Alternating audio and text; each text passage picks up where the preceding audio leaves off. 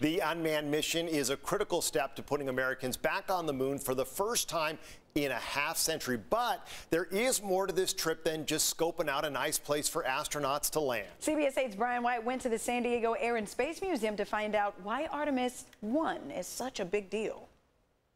The Artemis 1 will be launching from the Kennedy Space Center in Florida, and I've actually been there before in person years ago to observe a shuttle launch. And let me tell you, it was an awesome experience for me, and I'm sure tomorrow's launch will not disappoint.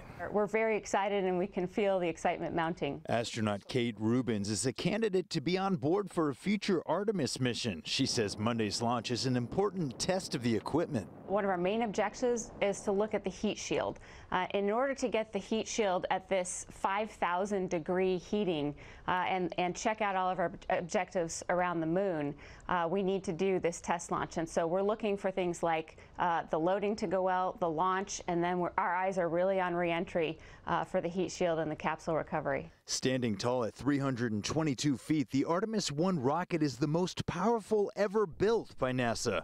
Once in space, the Orion module will detach and travel to the moon. Its orbit will take it about 62 miles above the lunar surface before it continues about 40,000 miles beyond the moon.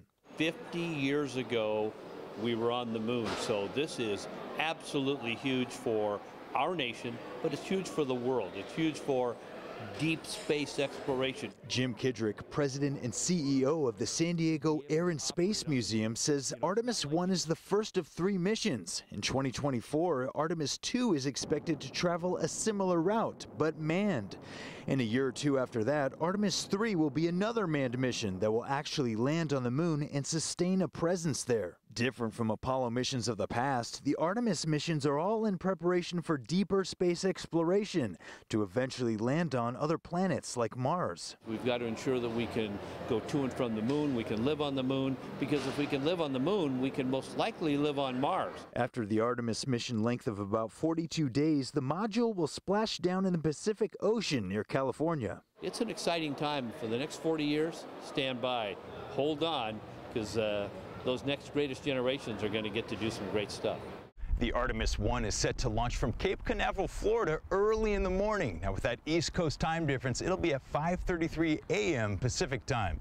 From Balboa Park, I'm Brian White for CBS 8.